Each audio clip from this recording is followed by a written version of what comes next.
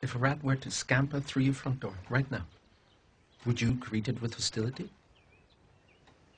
I suppose I would. Has a rat ever done anything to you to create this animosity you feel toward them? Rats spread disease. They bite people. Rats were the cause of the bubonic plague, but that's some time ago. I propose to you any disease a rat could spread, a squirrel could equally carry.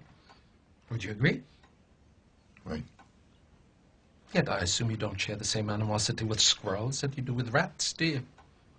No. Yet they're both rodents, are they not?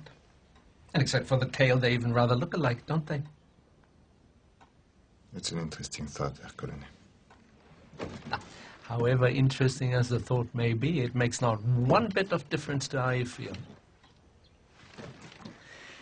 If a rat were to walk in here right now as I'm talking, would you greet it with a source of your delicious milk?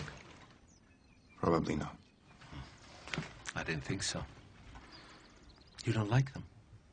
You don't really know why you don't like them. All you know is you find them repulsive.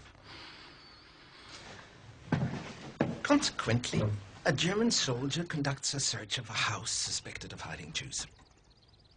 Where does the hawk look? He looks in the barn, he looks in the attic, he looks in the cellar, he looks everywhere he would hide. But there's so many places it would never occur to a hawk.